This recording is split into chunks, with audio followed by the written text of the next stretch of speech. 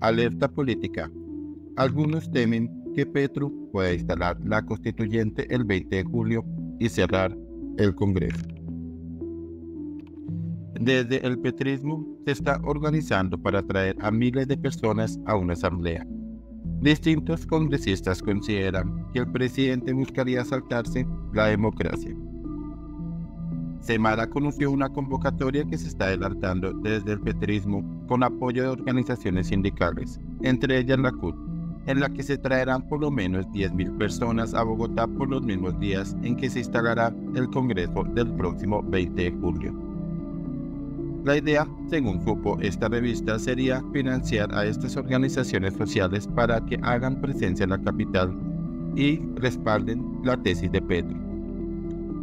La Asamblea Nacional por las Reformas Sociales, la Paz y la Unidad, convocada por el Comando Nacional Unitario, la Coordinadora Nacional por el Cambio, el Pacto Histórico y la Minga Social y Comunitaria y otras organizaciones sociales, se reprograma para los próximos 18, 19 y 20 de julio, ante la ampliación de las inscripciones, la necesidad de contar y garantizar las mejores condiciones logísticas y la importancia de avanzar en la preparación desde todos los territorios y sectores.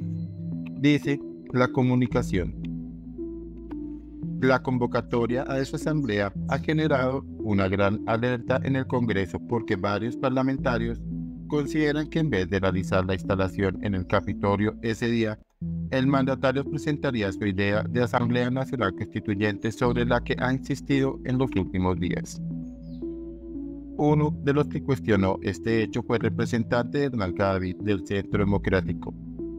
No cabe duda alguna de que el gobierno nacional y los otros sectores políticos que lo acompañan han implementado una estrategia para deslegitimar al Congreso de la República, en la medida que no han podido aplicar las reformas, ni siquiera con fórmulas de corrupción como las de UNGRE esa asamblea, haciéndola coincidir con el día de la instalación del Congreso de la República, lo que buscará es enviar un mensaje de sustitución del Congreso por parte de los grupos radicales que acompañan a Petro y poder decir que el pueblo lo manejan ellos, que ellos representan al pueblo y que la verdadera representación son ellos, sostuvo el representante.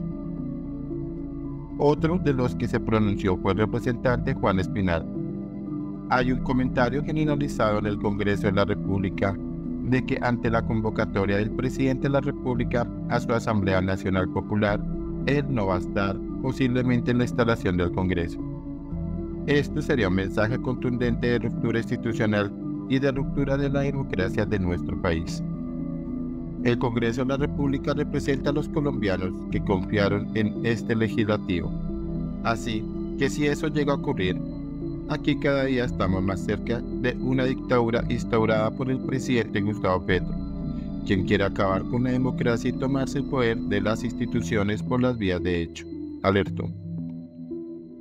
Algunos congresistas incluso aseguraron fuera de micrófonos que hay un temor generalizado de que la minga indígena pueda retener a los congresistas ese día.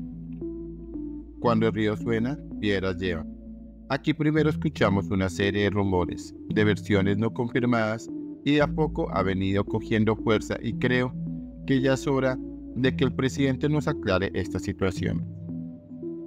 Si lo pretende hacer de esta manera, viola todo nuestro marco normativo, un procedimiento que está arreglado por nuestra Constitución sobre cómo se puede convocar una Asamblea Nacional Constituyente y que necesita una revisión del Congreso de la Corte Constitucional y las urnas.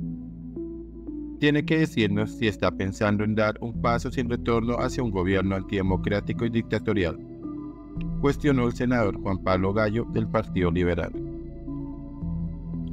Es muy preocupante. Los congresistas tenemos que tener todas las alarmas puestas. Ojalá los congresistas entendieran lo que significa en este momento seguirle tramitando la agenda al gobierno nacional en medio de una amenaza para la democracia en la que el único punto importante en esa asamblea es la reelección de Gustavo Petro, apuntó la representante Carolina Veláez, de Cambio Radical. Nadie está por encima de la ley ni de la Constitución. La Constitución es muy clara al advertir la forma en que se convoca una constituyente y creo que las ideas rebuscadas, la forma de hacerles guince a la norma, van a terminar en un prevaricato, dijo el representante Julián Peinado del Partido Liberal. La Asamblea Nacional por las Reformas Sociales, la Paz y la Unidad iba a tener lugar el viernes 31 de mayo, justo tres semanas antes de que termine la legislatura del Congreso en la que se define el futuro de las reformas pensional y laboral. Sin embargo, este miércoles 29 de mayo sus promotores confirmaron que la fecha se moverá para los días 18, 19 y 20 de julio, exactamente cuando debería estar posicionándose el nuevo Congreso, por lo que gran duda es si Petro instalará la legislatura en el Capitolio, como es su deber constitucional, o si estará en esa asamblea. Convocamos al conjunto del movimiento popular y democrático a preparar las próximas movilizaciones nacionales que tendrán lugar en el marco del cumplimiento de los dos años de gobierno alternativo del cambio, escribieron los convocantes. Esta revista conoció que desde los movimientos sociales se está listando por parte del Poder Constituyente. El Congreso de los Pueblos, por ejemplo, realiza esta semana un seminario del Poder Constituyente sobre el proceso de democratización en la región. Jornadas que tienen lugar justo cuando desde el Congreso temen que se dé un salto al Poder Legislativo el próximo 20 de julio.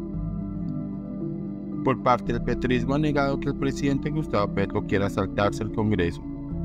Es una asamblea popular para así dialogar con la gente sobre un proceso constituyente, para que la gente traiga ideas y propuestas sobre lo que está pasando en el país.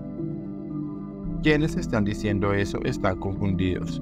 Esto no es una asamblea constituyente para reformar la constitución.